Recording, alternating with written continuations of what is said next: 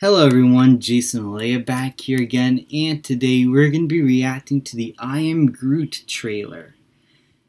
I kind of missed that yesterday. I don't, I did not really hear too many people talk about this one, um, and I was busy doing some other stuff, so I kind of said, yeah, there's just a lot of things that are getting in my way, but here we are.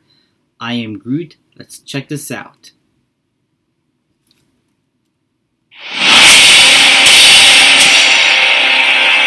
Okay.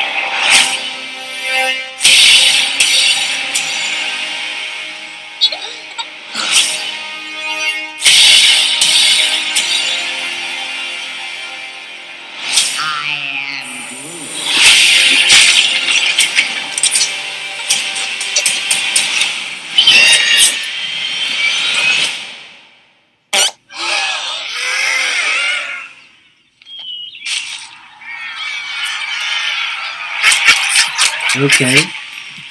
Looks cute enough.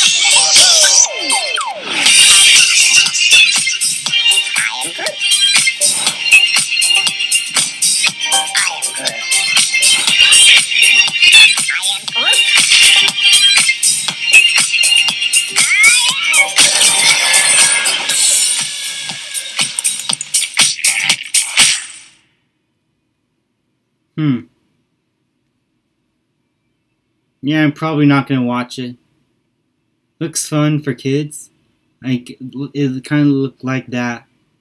It's going that same route that that Scrat uh, short series uh, went back earlier this year. Um, like a side character goes on weird adventures.